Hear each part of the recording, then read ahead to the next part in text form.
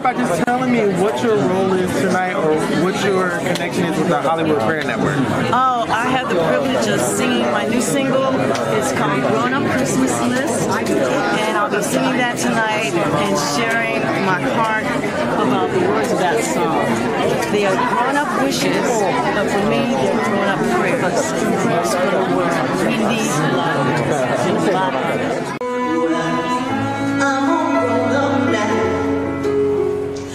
Still need help somehow. I'm not a child, but my heart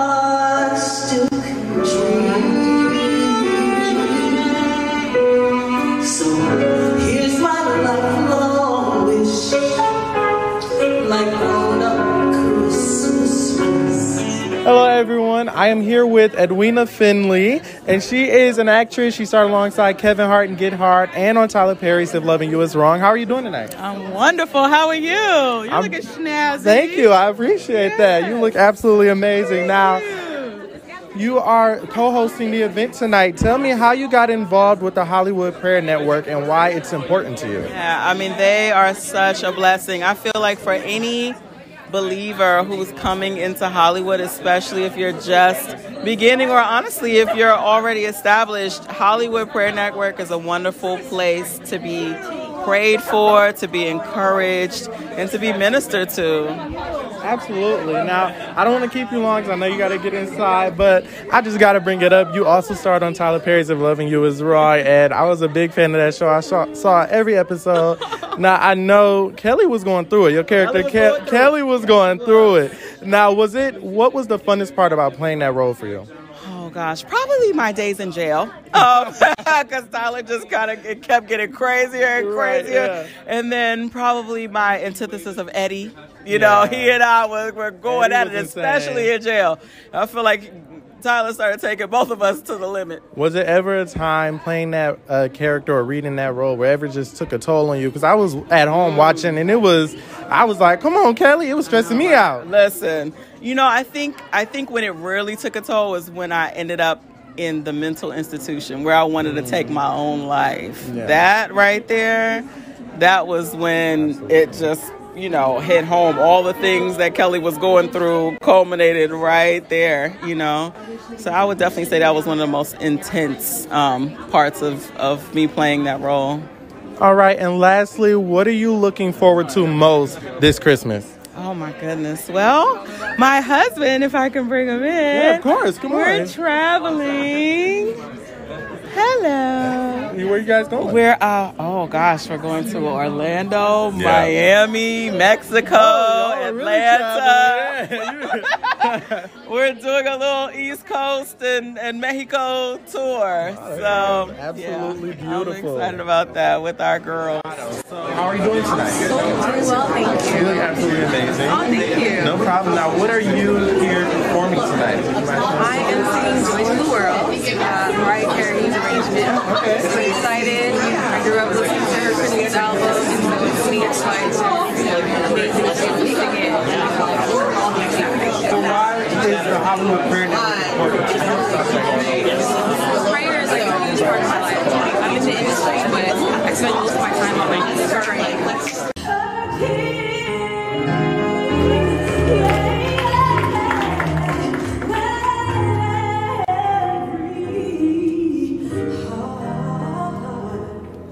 Leroy,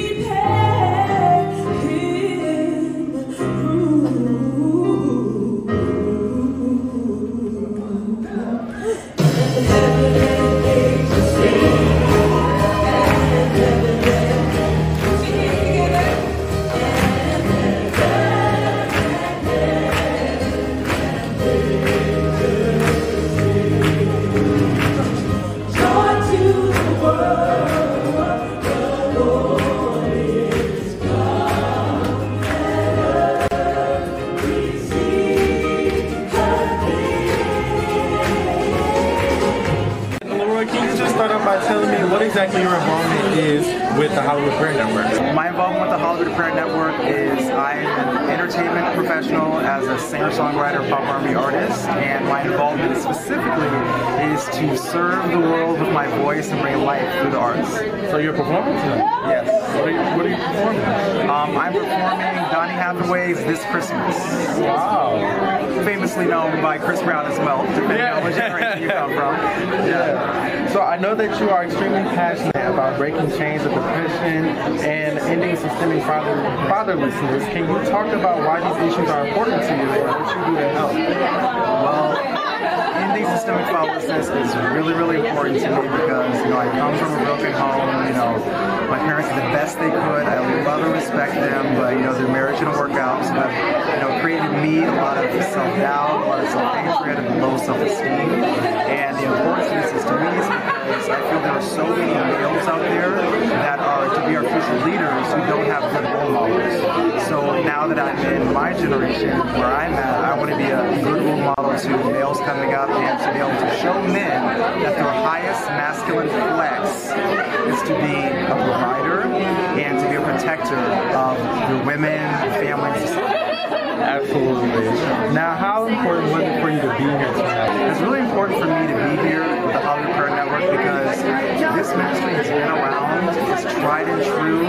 There's so many things that people don't know that happen behind the scenes in the entertainment industry. Have a place to be able to communicate that effectively in a safe environment is so, so important to stability and peace. Because, you know, we're missing so much peace. We have like a famine in peace in the world.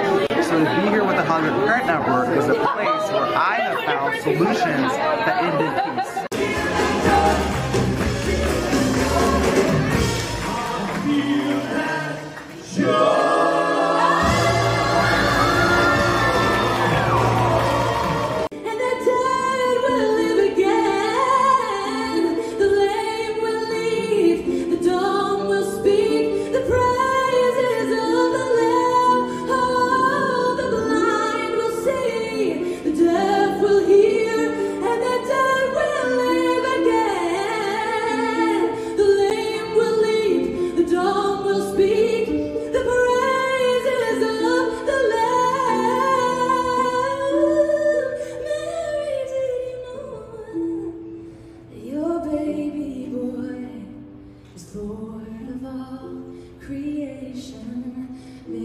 You know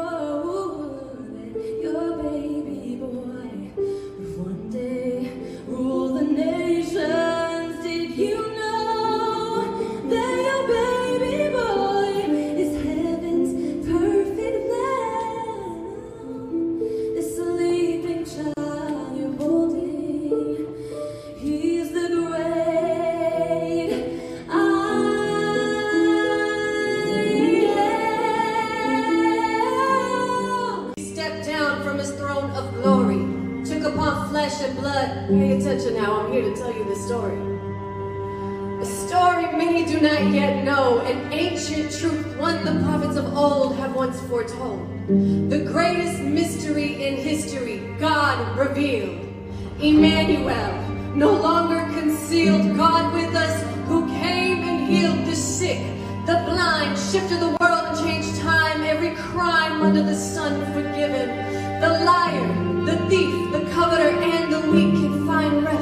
mercy at his feet.